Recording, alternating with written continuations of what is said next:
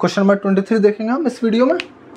इस तरह के क्वेश्चंस में जब आपको नंबर्स दिए हुआ हो सॉल्व करने को दिया हुआ हो तो जो सही वाले नंबर होते हैं, नौ सही, तीन बटे चार, इनको हम एक पास सॉल्व कर लेते हैं। नौ नौ में से नौ जाएगा ज़ीरो बच जाएगा, सात बच जाएगा केवल।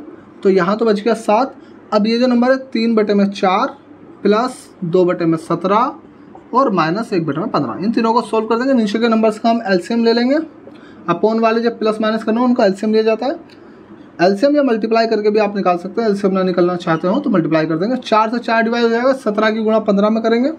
सत्रह की गुणा जब पंद्रह में होगी, पंद्रह सत्तर एक सौ पाँच का पाँच, हासिल लगे दस, पंद्रह एकम पंद्रह और दस, पच्चीस।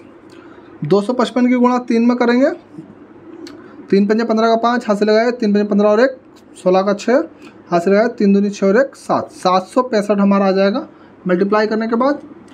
अब सत्रह से सत्रह डिवाइड हो जाएगा, पंद्रह चौक साठ साठ की गुणा दो में करेंगे, पंद्रह चौक साठ साठ की गुणा दो में होगी तो एक सौ बीस आ जाएगा।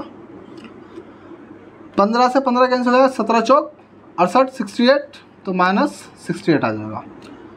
दोनों नंबर्स को ऐड कर देंगे। सात सही, सात सौ पैंसठ और एक सौ बीस हो जाएगा हमारा आठ सौ पचासी, उसमें से माइनस कर देना सिक्सटी एट को, अपॉन में। पंद्रह सत्रह की मल्टीप्लाई करके आ रहा था, दो सौ पचपन उसकी गुणा जो है हम चार में कर देंगे। चार पंजे बीस का ज़ीरो, हासिल लगे दो। चार पंजे बीस और दो, बाईस का दो, हासिल लगे दो। चार दूनी आठ और दो, दस। एक हज़ार बीस। इसमें से माइनस कर देंगे सात सही और आठ सौ पचासी में से ये आठ सौ सत्रह हमारा बच जाएगा।